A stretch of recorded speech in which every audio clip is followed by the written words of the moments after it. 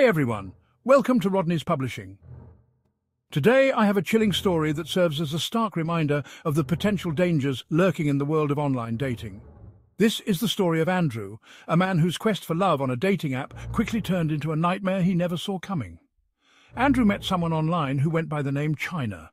They bonded over a shared love of a particular mobile game, exchanging messages and even sending each other gift cards. For weeks their online interaction was filled with excitement and the promise of a genuine connection. But things took a dark turn when they decided to meet in person. One night, Andrew found himself aggressively questioned by police officers in a dimly lit room.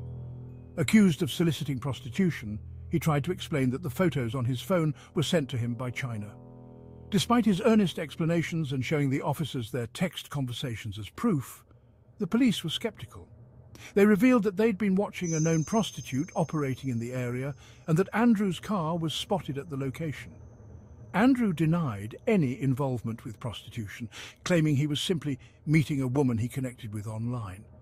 But the police remained unconvinced, their suspicions fueled by the woman's known reputation and Andrew's presence at the scene.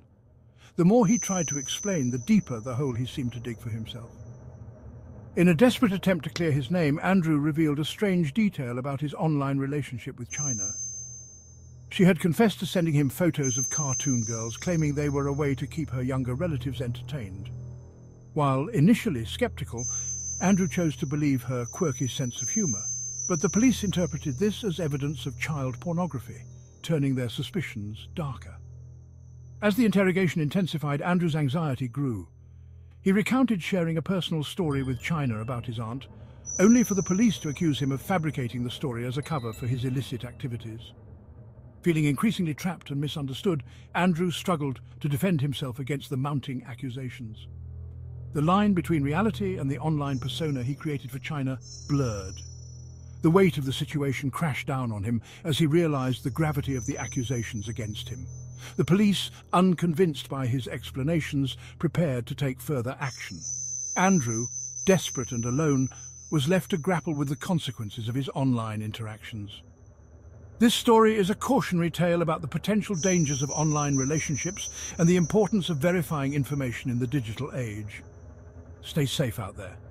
Thanks for watching, and don't forget to like, share and subscribe for more chilling tales. For more short stories, get Leave Rune for Human Errors, Crime Artists. Until next time, take care.